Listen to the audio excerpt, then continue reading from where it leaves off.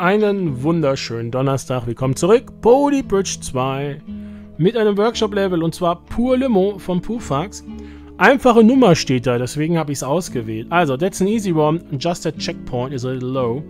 Einfache Nummer, bloß der Checkpoint ist ein bisschen niedrig. Grüße an Kria, Ninja05, Sebastian und Durchschnittlich TV. Wenn ihr spielen wollt, das Level, ID wie immer oben links äh, am Bildschirmrand sowie in der Videobeschreibung. Gucken wir mal.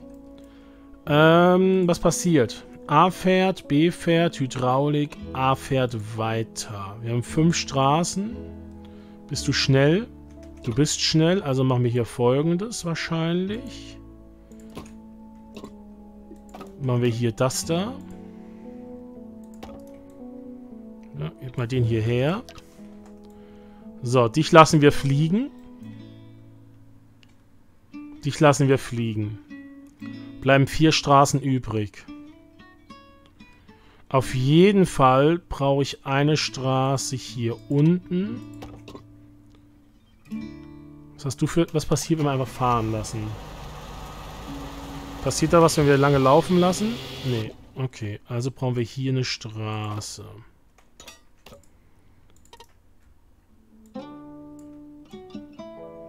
Und die ein bisschen länger, damit wir das so halten können. So, wir sollten eventuell auch den Speed reduzieren. Weil kommt dahin. Prallt da ab. Wir haben Federn. Das heißt, eigentlich ist das dann sogar wirklich eine easy Nummer, wie er geschrieben hat, der Pufax. Er lügt nicht. Manchmal tut er es. In dem Fall hat er nicht gelogen.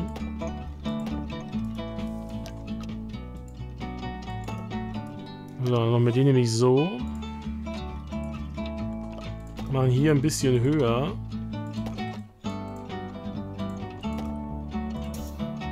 Das Ganze mit einer Hydraulik versehen. Hier müssen wir einen Split-Joint machen, damit er durch die Wand klitscht.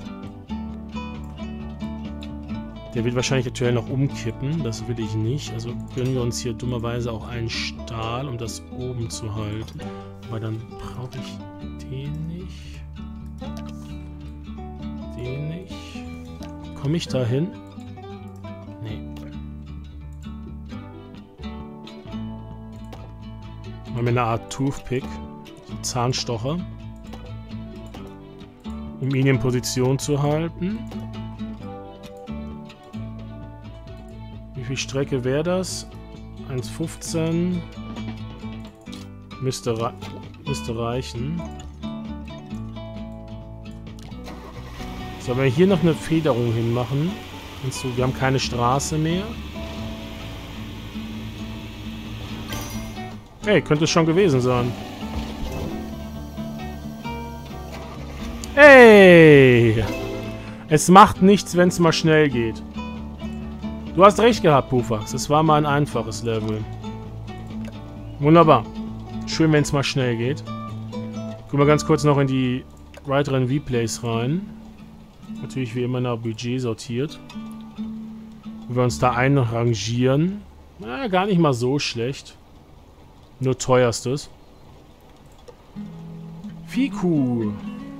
Da mit einer Feder die Straße gemacht. Okay. Hier einfach die Straßen nur liegen lassen. Das ist natürlich auch intelligent. Hier auch. Ja, deutlich schlauer, weil kleinere Hydraulik von links hoch zu machen. Hier mit der Feder kannst du eben kürzer bauen. Macht Sinn. Intelligent. RLDV. Da eine Feder. Und der lässt ihn darüber rampen. Okay, cool, cool. Ovosi. Hat sogar ohne Hydraulik gebaut. Er lässt ihn einfach drüber fahren. Das ist auch nicht blöd. Er schiebt ihn ins Ziel. Ja, wieso nicht? Da brauchst du keine Hydraulik. Over in Aviation, kleine Spring Cannon, um ihn runterzubekommen. Aber er hat zwei Federn. Gab es nicht nur eine Feder? Muss gleich nochmal gucken. Nee, Pufax hat auch zwei Federn. Ja, so viele unterschiedliche Lösungen. Und dann einmal hoch damit, damit er ins Ziel kommt. Gut, würde ich sagen, äh, schauen wir mal rein ins nächste Level. Das zweite Level heute wieder von Pufax und zwar Counter Rate Elevators. Maybe there's another way to solve this, but intended solution is building two elevators for the blue cars. No hydros available, but you have a controller. As always, budget is about twice as high as needed, and you have four springs, although you probably only need two of them. Vielleicht kann man es auch, auch anders lösen, aber beabsichtigt sind zwei Fahrstühle für die blauen Autos. Keine Hydrauliken, nur ein Controller. Wie immer, Budget aber doppelt so hoch wie nötig. Und du hast vier Federn, obwohl du wahrscheinlich nur zwei brauchen wirst. Hallo Kria, nachdem ich deine Hochhebelösung für Krabbe die Krabbe gesehen habe. Meine Hochhebelösung, das muss ich überlegen. Ich glaube, das war dann die, die ihr im Video nicht gesehen habt, sondern die ähm, ohne Hydraulik war. Müssen wir ganz kurz gucken. Mal ganz kurz hier schauen. Äh, will ich mal ganz kurz gucken, ob ich die gespeichert habe. Ich denke schon. Hm, nee. Doch, hier. Genau. Das war nämlich eine ohne Hydraulik. Was auch ein Riesenakt war, das hinzubekommen. Damit sie darüber kommt. Und dann ins Ziel schleudern lassen. Okay. So. Mal ganz kurz das gecheckt, damit wir alle auf einer äh, Ding sind. Gesehen habe, Level ID VWM 6M, bin ich beinahe sicher, dass ihr dieses Level gefällt. Wir werden es sehen. Gut, was haben wir? Also, A, Hydraulik. A fährt, stoppt, Hydraulik fährt weiter. Wenn er am Ziel ist... A2. Also er nimmt den mit. Also A nimmt den mit, geht hoch. Dann gibt es eine Hydraulikphase. Fährt also dann ins Ziel. Dann eine Hydra also wir brauchen auf jeden Fall Straßen erstmal. Das steht schon mal fest. Wir brauchen unten eine Straße, weil J ganz durch will. Also würde ich sagen, versuchen wir erstmal das hier so einigermaßen günstig äh, stabil zu bekommen, hätte ich gesagt.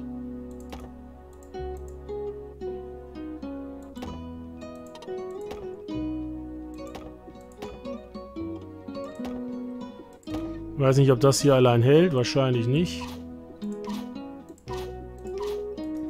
So erst recht nicht.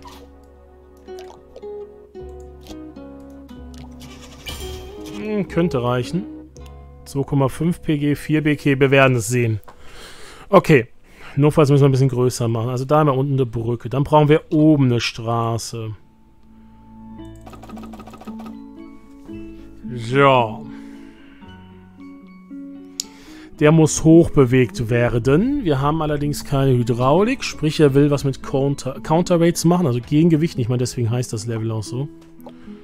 Offensichtlich. Das heißt, hier muss eigentlich temporär eine Lücke sein. Sonst kriege ich ihn da nicht durch. Ich denke, wir werden hier erstmal... Ich glaube, wenn ich das hier aber mache, wird es unten bei der Brücke zu schwer sein, oder? Hm, vielleicht auch nicht. So, du musst nachher auch noch weg. So ganz nebenbei.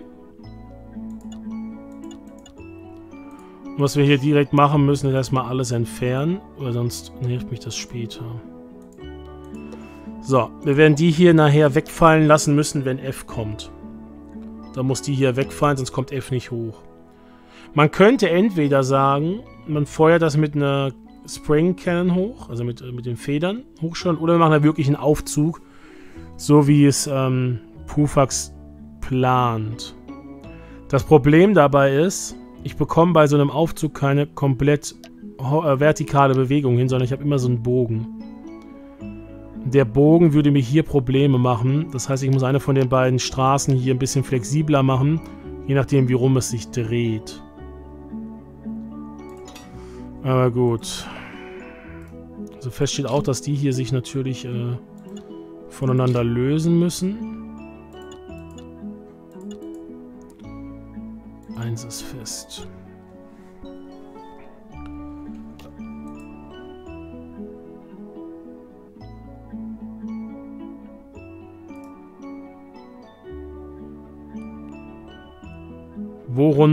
Woran, machen wir das Ding?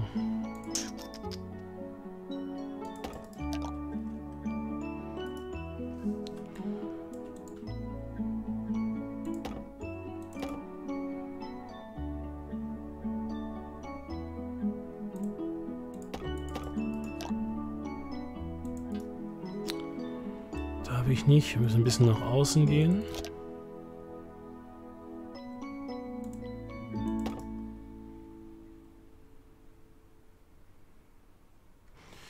Brauche ich das überhaupt? Ich denke nicht. Wir brauchen einen Punkt, um den es sich dreht. Sagen wir mal, wir machen ihn hier hin. So. Okay, nicht dahin, sondern dahin. Okay, nicht dahin, sondern dahin. So, und dann bräuchte ich mir das Ganze nochmal kopiert an der Stelle, damit nämlich äh, das Ding hier auch. Wenn ich jetzt fahren lasse und loslasse... Also, wir sollten die hier auch äh, in der Phase aktivieren. Dann würde das sich lösen, der würde nach unten schwingen. Genau. Das ist klar. So, was da auch feststeht, ist, wir können das Ganze hier auf jeden Fall aus Holz machen. Ich brauche eigentlich nur für das lange Stahl, sonst muss ich da so viele Holzmuskeln machen, das will ich nicht. Gut, jetzt geht es darum,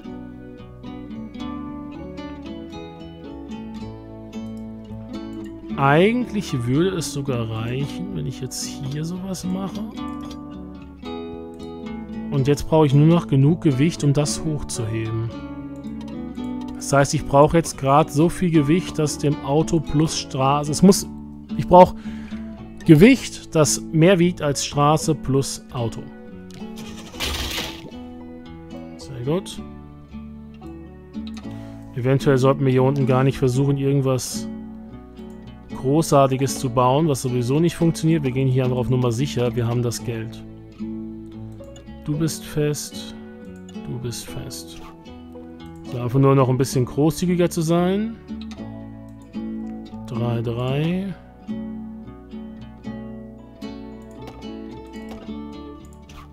Machen wir das jetzt noch ein bisschen extra fest. Und zwar so.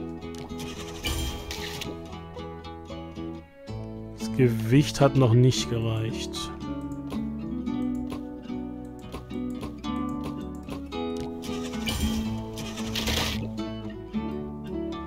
Was genau war jetzt das Problem? Er ist zu früh gefahren, oder?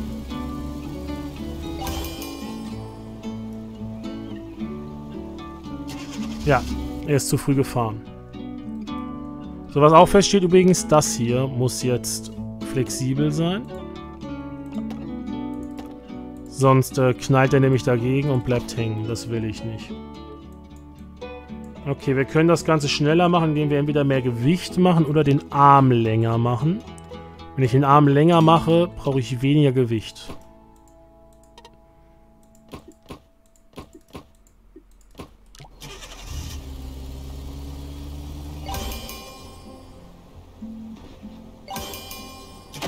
Problem ist, er bewegt zu weit. Entschuldigung. Ich habe aus Versehen mein Mikrofon geschlagen. Das ist die Verzweiflung, die schon direkt sich breit macht. Das heißt für mich, der Arm ist, ist auch dumm. Ist auch dumm, was ich hier mache. Der, der Arm muss natürlich in der Hälfte sein. So, ich mache hier eine 2 Meter Distanz. Das heißt, der Arm muss 1 Meter sein. Das heißt, ich brauche hier muss der Arm sein. Auf der Höhe. Ergo machen wir hier einen hin hier einen Arm hin. Die beiden verbinden wir. Ähm, den müssen wir noch festmachen. Wir machen jetzt sogar mit Stahl, weil wir da ein bisschen mehr Gewicht haben. Das will ich sonst nicht. So, und jetzt machen wir den Arm so hin. Weil dann müsste er nämlich maximal auf die Höhe hier gehen, auf die ich will. Wenn ich mich nicht irre.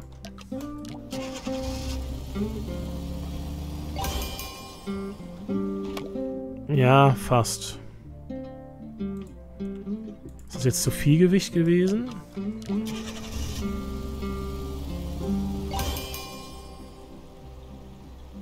Nein, er schlägt über. Ich brauche die, äh, hier. Ich muss das, ähm, verhindern, dass die übereinander lappen. Das brauche ich.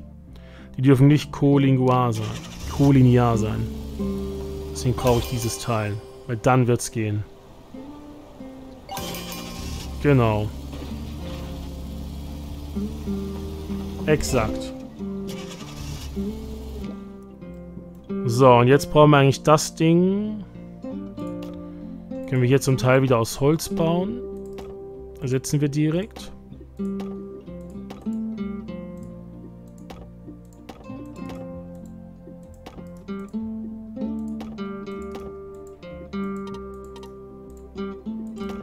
So dass das Einzige, was wirklich Stahl ist, sogar eigentlich nur das ist, was einfach zu lang ist.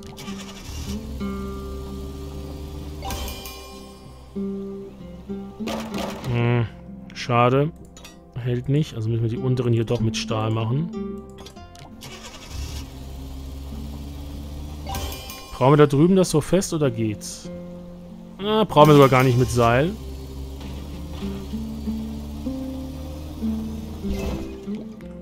Das heißt, wir können das wieder wegmachen, machen hier wieder normal fest. Geht das auch mit weniger Gewicht? Ich glaube nicht, das schafft er nicht, oder? Ne. Das ist definitiv zu wenig. Zwei. Nein. Zwei und ein normales. Wobei die hier schon zu groß ist. So. Reicht das? Könnte sein, wir haben leichte Drehungen nach unten. Ja. Die reichen. Okay, jetzt kopieren wir das Ganze noch einmal hier rüber. Äh, so. Split Joint. Ihr seid alles Einser, das ist richtig. Split Joint.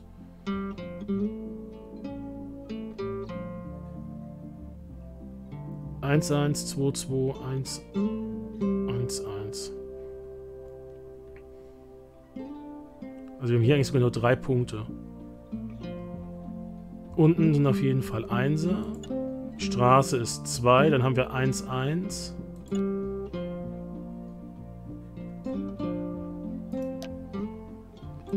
Ihr seid 2, oder?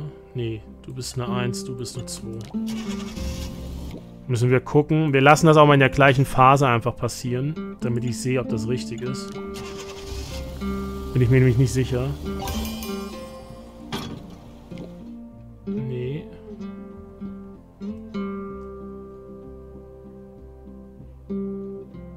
Zwei, vier. Du bist falsch. Du musst dich noch unterscheiden. Genau, wir bekommen die Bewegung hin. Wunderbar. In Ordnung. Damit wird das jetzt hier in der Phase G gemacht. Da kommst du und du. Gucken wir ganz kurz, ob wir... Das Problem ist, dass das hier vielleicht jetzt so ein bisschen stört, wenn er da langfahren will.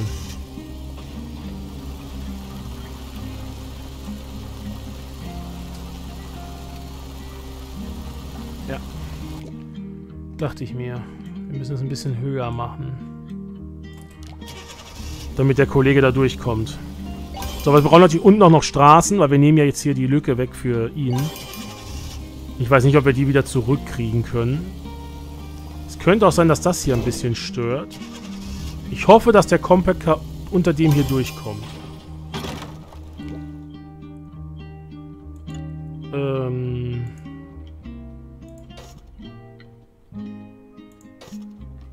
Hm. Wir machen es anders.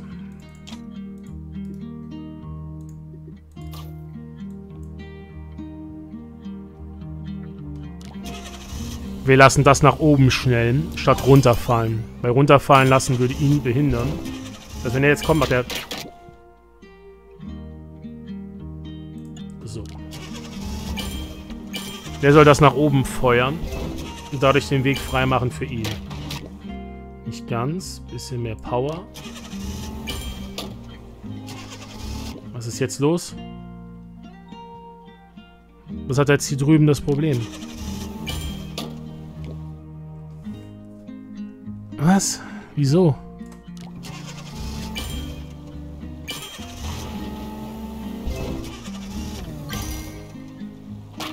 Hm, reicht immer noch nicht. Noch mehr Power. Könnte bald ein bisschen zu viel Stress für die Brücke sein.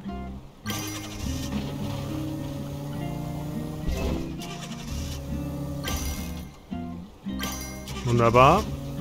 Und er kommt da durch. Okay. Das funktioniert also tendenziell. Jetzt brauchen wir noch folgendes. Wir brauchen hier eine Straße, die zugeht, wenn ich es will.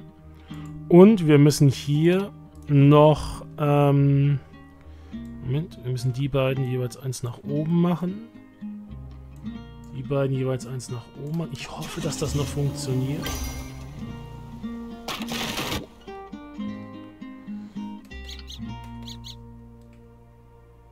Okay.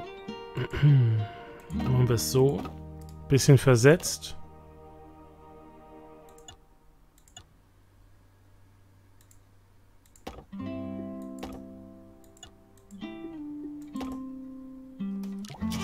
Wir brauchen hier unten noch eine Straße, die da ist. Die ganze Zeit über. Wieso zickst du jetzt rum?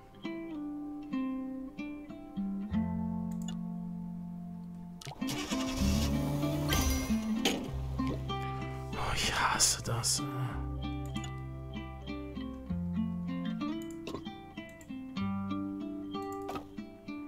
So, du musst los sein.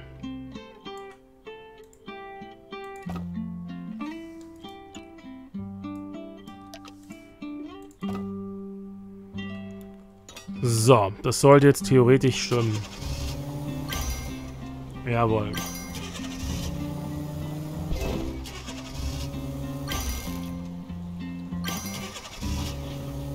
Okay, das funktioniert. Jetzt kopieren wir das nämlich hier rüber, damit es hier drüben dann einen Weg für das Taxi gibt. Kurz gucken, dass hier auch die Zahlen stimmen. Und dann müssen wir gucken, wie wir den hier im richtigen Moment runterklappen lassen, damit F wieder zurück kann.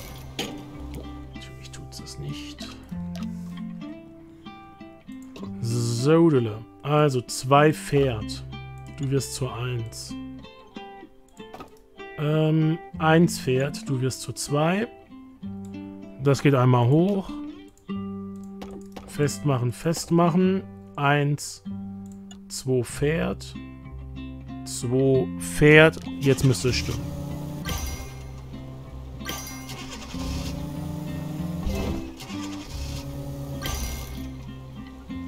Jawohl. Sehr gut. Einzig und allein, was mir jetzt noch fehlt, ist hier die Klappe.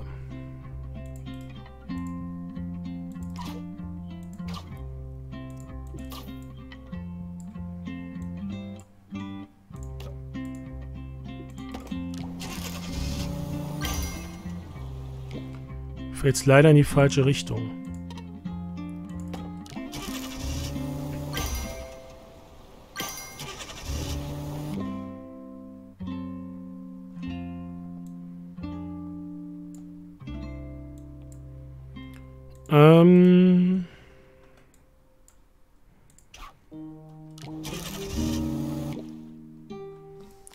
Natürlich so machen, mit Hilfe einer... Nein. Wir müssen schon das Gewicht leicht nach rechts legen, damit du in die richtige Richtung fallen willst. Das ist zu viel. Das sieht gut aus, oder? Ein ah, bisschen, bisschen mehr.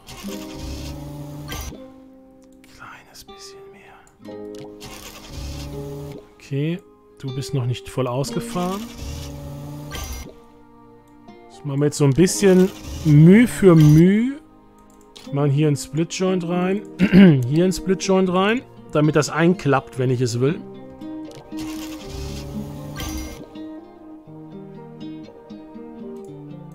Das passiert in der Phase. Also müssen die hier dann auch sein. Ein bisschen mehr.